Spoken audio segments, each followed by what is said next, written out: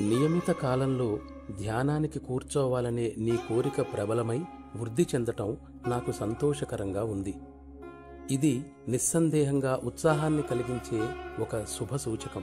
కాని ప్రియ సోదరా నీవు నన్ను నిర్లక్ష్యం చేస్తావని నేననుకోను. నీవు నన్ను వదలకుండా ఉండటానికి నిర్ణయించుకుంటే నేను ఎల్లప్పుడూ నీ పక్కనే ఉండటాన్ని నీవు గమనిస్తావు. సకాలంలో అది నీకు అనుభవానికి వస్తుంది. నీ ఆలోచనలను భావాలను పిలువకుండా వచ్చిన అతిథులుగా భావించు. అప్పటికీ అవి నిన్ను ఇంకా బాధిస్తుంటే అవి నావేనని నీవి కావని మాత్రం అనుకోవాలి.